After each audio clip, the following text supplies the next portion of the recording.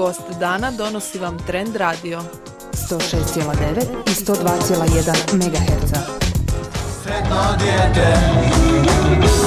Točno je 9 sati i vrijeme je za još jednu emisiju Gost dana ovog jutra. U društvu smo Ana Marije Garašić, inače projektnog administratora na projektu Naše prava, što je zapravo i naša današnja tema. Ana Marija, dobro jutro. Dobro jutro, pozdrav svim slušateljima Trend Radija. Pa kako smo jutros? Pa dobro, pa radno, je radno, radno, kažu, radno, da. Kažu neki kao produženi vikend, skraćeni tjedan, ali vidim da barem nama dvijema to ništa ne znači, jel? U cijelom društvu kao ni u novinarstvu nema produženog vikenda. ok, e, što je projekt Naša, naša prava, to jest provodili ste upravo kao udruga Turbina promjena e, taj projekt zadnjih šest mjeseci. U petak je održana preskonferencija gdje ste zapravo pokazali rezultate ovog projekta. Kako je bilo raditi na ovome, Ana Marija? Pa evo, meni je ovo e, prvo zaposlenje u udruzi Turbina promjena. Zaposlena sam znači kao projektni administrator. E, zadnje šest mjeseci, kao što ste naglasili, sam radila na tome projektu, znači na provođenju radionica. Ovo je u biti drugi takav projekt koji Turbina promjena provodi. Bio je već jedan projekt prošle godine koji se provodio isto u vremenskom razdoblju od šest mjeseci. Zvao se i Djeca to mogu. Ovo je svojevrsni nastavak. Znači projekt Naša prava je zapravo projekt promicanja dječje participacije, odnosno njihovih prava. uh Prvo provodili smo radionice u četiri osnovne škole na području grada Karlovca i Županije. To su bile osnovna škola Banija, Draganići, e, Mahično i Grabrik sa učenicima četvrtih razreda gdje smo u biti kroz četiri ciklusa radionica htjeli nešto više u biti podučiti djecu koja su to njihova prava, naravno sa pravima dolaze i obveze, mm sve radionice su naravno bile prilagođene njihovoj dobi, dakle oni su i crtali i plesali i pjevali i pisali pjesme, svašta. znači bilo je glasno, veselo i jasno. Koje su nekako glavne aktivnosti onda bile na projektu? Pa evo to su, znači kao, sam, kao što sam spomenula, četiri projektna ciklusa. Znači prvi projektni ciklus e, zvao se Prava i obveze djece gdje smo u biti na njima jednostavan i razumljiv način dali osnove koje su to njihova prava i obveze. mm Evo, radionicu je biti provodila e, Kristina Cindrić, ona je stručna suradnica iz partnera na projektu Društvo naša djeca Karlovac. Uh, Znači, nakon početnog upoznavanja na radionici, djeca su bila podijeljena recimo u dvije skupine. Jedna skupina je dobila na papiriću crtež, druga skupina je dobila opis tog crteža, odnosno opis prava. Mhm. Dok su jedna djeca primjerice opisivala što je na crtežu, e, drugi učenik koji je imao opis je morao pogoditi da je to recimo njegovo pravo koje piše na papiru. uh Dakle, sve su radionice u biti prilagođene tako njihovoj dobi da bude njima zanimljivo. Evo, nakon te prve radionice su oni uh, crtali recimo svoje najdraža prava, naravno to je bilo pravo na igru. to je ono njima najzanimljivije. E, drugi ciklus radionice, dakle smo se više usredotočili na konvenciju o pravima djeteta. E, svakome smo biti učenik u svakome svakoj svoj školi podijelili e, konvenciju koja je znači dokument ali prilagođen djeci da je na njima, na njima da mhm. razumljiv način zapravo opisali koje su to njihova osnovna prava. Uh evo na toj radionici su primjerice oni morali za početak e, dobili su devet prava koji su poredali u grupno na njima ovoga koja su biti njima najvažnija. Dakle, ono pravo na život, pravo na ljubav, pravo na obitelj i tako slično i onda su oni grupno morali odrediti koja su po njima najvažnija.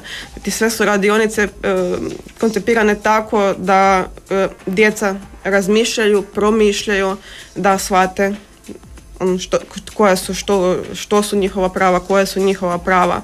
E, naravno njima je od treći i četvrti ciklus radionica zapravo bio najzanimljiviji, e, gdje smo u trećem ciklusu radionica smo radili zapravo e, edukativnu društvenu igru. uh Znači svaka škola bila podijeljena na četiri dijela kako smo radili sa četiri škole. Svaka škola je radila jedan dio igre koje smo mi u biti kasnije prenijeli na na kako se to falim, falim mi riječ Aha, kao meni rezultati malo prije nego što smo krenuli da, da, da, da, na ceradu Tako je, na ceradu smo prenijeli zapravo to ono što su radili. Nije igra uopće bila znači izmijenjena.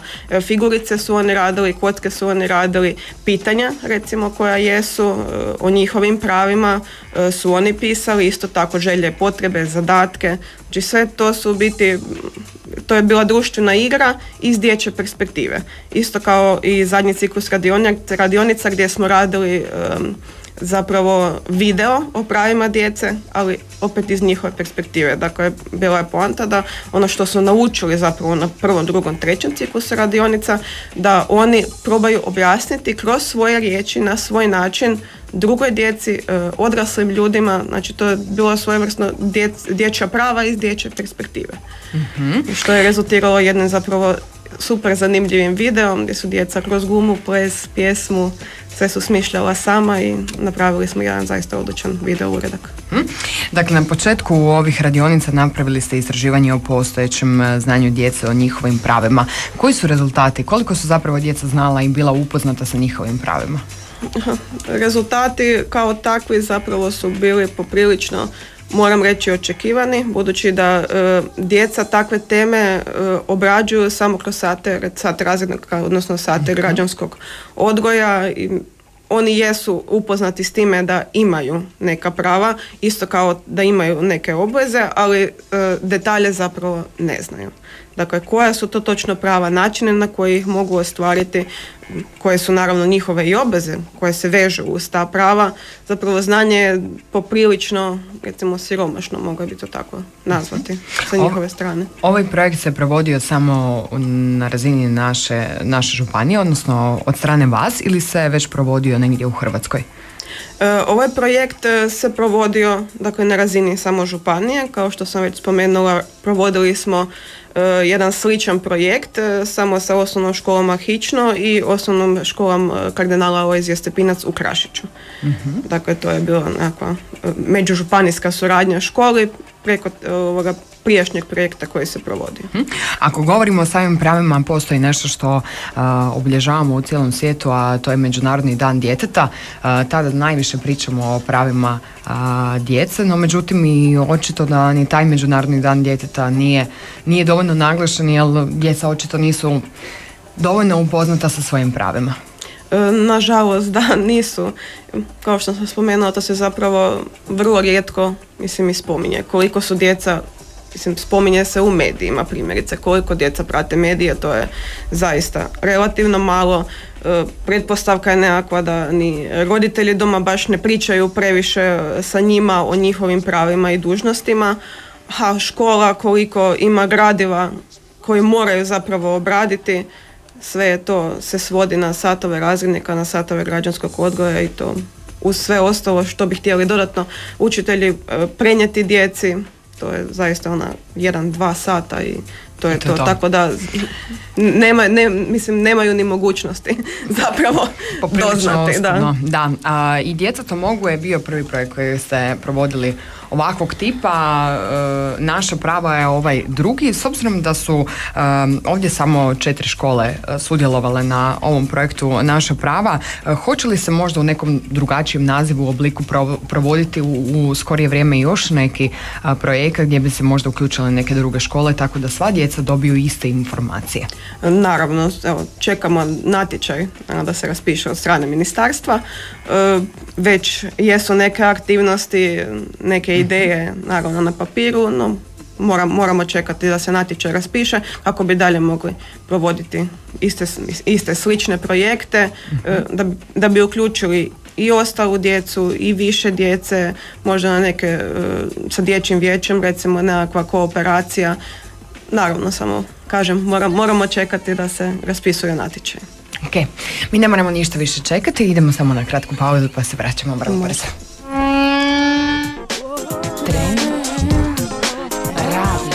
Emisiju Gost dana donosi vam Trend Radio. 106,9 i 102,1 MHz.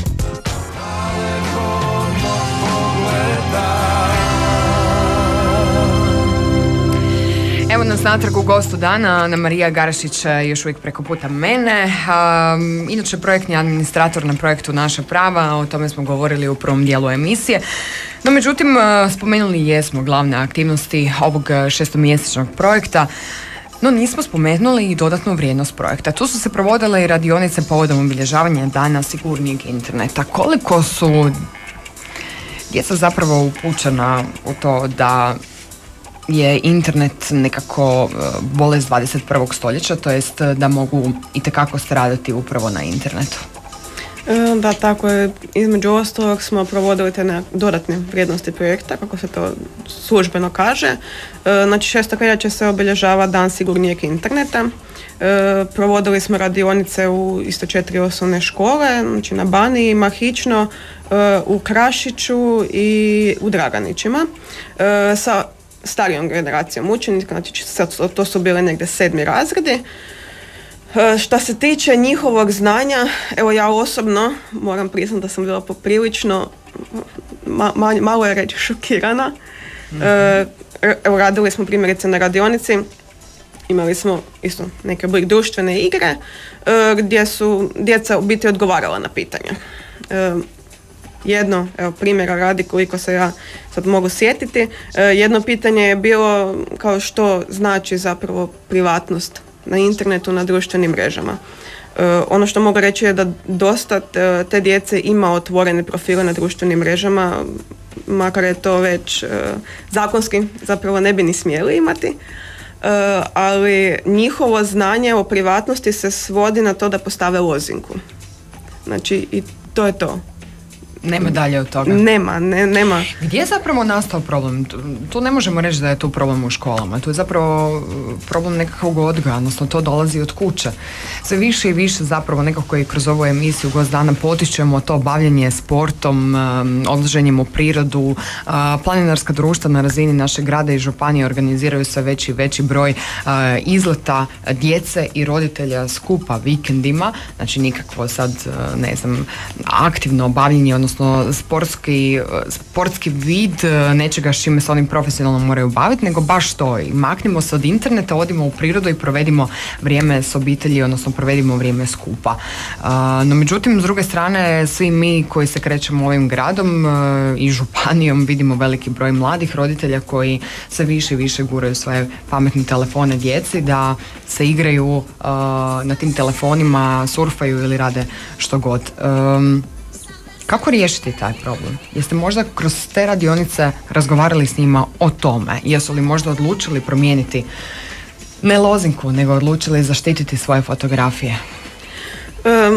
pa evo, budući da smo to radili kao dodatnu vrijednost projekta, zaista nije bilo dovoljno ni vremena ozbiljno zapravo popričati sa njima koliko se opasnosti kriju na internetu, na društvenim mrežama. Mhm. Svakako to bi danas tehnologija, internet, društvene mreže, znači među djecom to, to bi trebalo biti jedan kompletno poseban projekt kako bi se zaista ozbiljno radilo. Međutim, da živimo u 21. stoljeću i mislim smiješno, ne možemo negirati da današnja djeca zapravo odrastaju uz pametne telefone u tablete.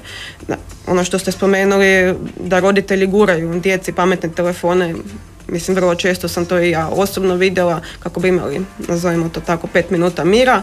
E, nije isto način, ali ne, djeca nisu svjesna koliko se zapravo opasnosti krije i mislim da je to prvenstveno uloga roditelja da, da oni poduče svoju djecu, da uzmu vremena, da, da im pokažu, da im objasne da nije internet samo igrice, e, društvene mreže, postavljanje svojih slika. Mora se pričati u onim neugodnim stvarima zapravo kolike se opasnosti i kakve se opasnosti kriju iza svega toga. Svakako ne kažem da bi roditelji trebali u potpunosti uzeti pametne telefone od svoje djece. Mislim, realno, današnja generacija mladih ljudi, djece je svakako mislim puno pametnija možda čak sa tim pametnim telefonima od svojih roditelja jer mhm. oni od malih nogu odrastaju sa time ali da u svakom slučaju trebalo bi malo više tih obiteljskih vikenda odlaska u prirodu, bavljanje neke sportom, planinarenjem i slično da roditelji opet i uzmu vremena da svoje djeca, djetu, djecu malo odmaknu od svega toga. E, naravno tu je i odgovornost e, opet jedna moram reći i na školama, ali se vraćamo kao i sa pričom o našim pravima, odnosno dječjim pravima, škole uza sve ostale obveze, odnosno učitelji, zaista nemaju vremena još e, u svom satovima koje imaju naprijed raspoređeno zapravo pričati ozbiljno sa djecom o opasnosti zapravo interneta. Tako da, da, smatram da prvenstveno je tu odgovornost na roditeljima. Hm?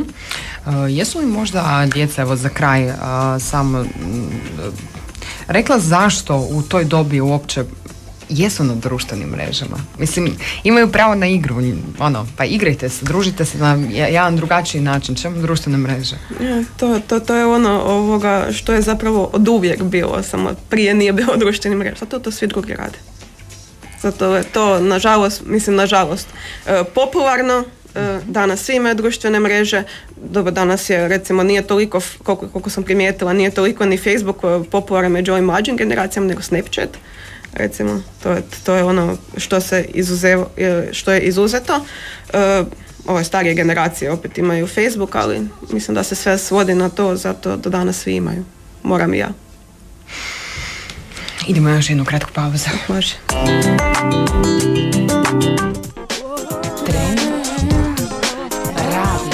Emisiju Gost dana donosi vam Trend Radio. 106,9 i 102,1 MHz.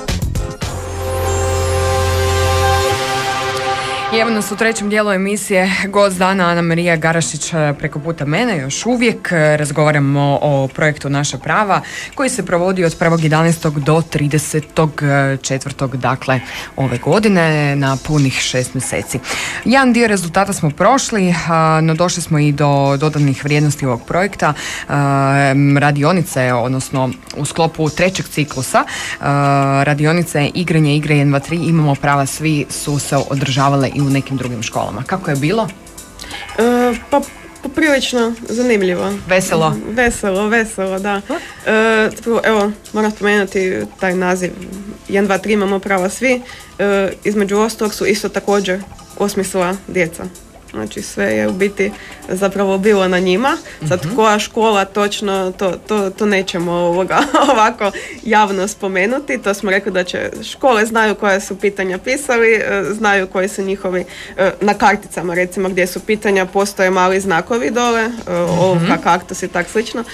To su škole, odnosno učenici sami odabrali, tako da oni znaju koja su pitanja njihova, koje, odnosno škola koja je izmislila naziv igre, to oni znaju, ti se recimo mogu ponositi, ali da, kasnije smo se, kada je igra zapravo bila gotova, kada je igra prenesena na tu radu, došli smo ovoga, u škole zapravo odigrati tu igru. E, da, njima, njima je to bilo super. Mm, ono, umjesto sata razrednika ili sata recimo tjelesnog, e, između ostalog i ima na tim karticama ne znam, primjerice neki, neko pitanje, ako točno odgovoriš, ne znam, možeš dva polja unaprijed, ako netočno odgovoriš, napravi, ne znam, deset čučnjeva. Tako da je to zapravo igra bila i sata tjelesnog. U osnovnoj školi Mahično baš su onako pogodili su pitanja, odnosno zadatke, gdje su cijeli sat tjelesnog zapravo odradili. Ovoga, tako da njima je to bilo super zabavno. Što mi je zapravo drago jer sam shvatila da djeca, recimo to su bili četvrti razredi, da djeca vole tjelesni što mi je da onako... I onda kad dođe u peti sve padne u vodu. Da, da njima je tjelesni, dakle super. E, evo, sa tom igrom e, sudjelovat ćemo i na manifestaciji Karlovačke vrtuljak e, sa 17.5. to je znači četvrtak, u jutarnjim satima sa osnovnom školom Grabrik, koja je, znači sa učenicima četvrtog razreda koja je radila tu igru. Mhm. Oni će zapravo pokazati svoje znanje, svoje remek dijelo i drugoj javnosti. Zapravo pomoću evo Karlovačkog vrtuljka i nekih ostalih uh, manifestacija uh, ovaj projekt živi i dalje. Tako je, da, da. Mhm. Ovaj projekt živi i dalje. Naravno, uh, igra kao što smo spomenuli već i školama i DND-u recimo Karlovac je dostupna, dakle, mislim na korištenje. Samo nazovite i mi ćemo dati igru, posuditi, neka se djeca uče, neka se i igraju, mhm. ali prvenstveno, dakle, neka se uče o, o svojim pravima, o obavezama, pitanja koja su složena, znači kroz tih 15 pitanja koja su postavljena na karticama je zapravo moram reći velik dio toga što smo mi radili sa njima na samim radionicama. Znači njihova prava su provedena kroz pitanja. uh moram se vratiti na početak e, ove emisije. Je li poznato kojim svojim pravima su se nekako najviše djeca čudila, ono da baš nisu znali da imaju pravo na to? E, evo jedno koje meni prvo pada na pamet e, je pravo da imaju imaju pravo odlučivanja, odnosno su odlučivanja sa svojim roditeljima o stvarima koje su koje njima važne. Recimo, to, to djeca dakle nisu znala da imaju to pravo. Znači, kad roditelji donose odluke za mhm. njih, oni imaju pravo glasa. To, to im je onako bilo zar da, mi isto imamo pravo na to. Aha, da, imate. Mama me hoće upisati na balet, ali ja ne želim ići na balet, ja želim ići na nogomet. E, tako je, ah, ima pravo reći ja želim nogomet i ja ne želim balet.